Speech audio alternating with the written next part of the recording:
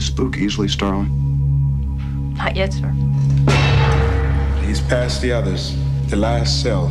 I'll be watching. You'll do fine.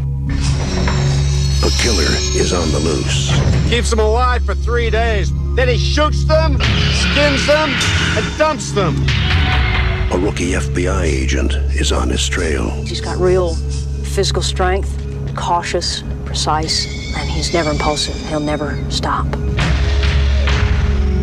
But in order to track him down, she'll have to match wits. I'll help you catch him, Clarice. Believe me, you don't want Hannibal Lecter inside your head. With the darkest of all minds. Just do your job, but never forget what he is. Oh, he's a monster. Pure psychopath. So rare to capture one alive.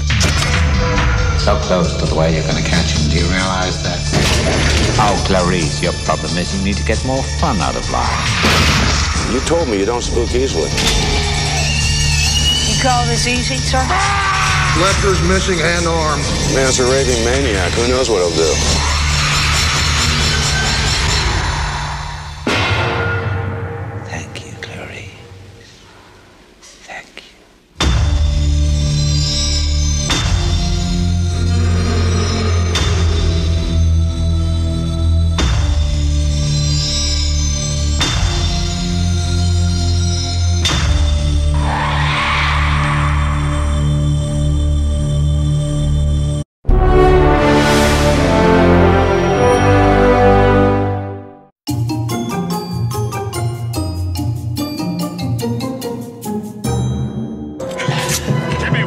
Skyfall.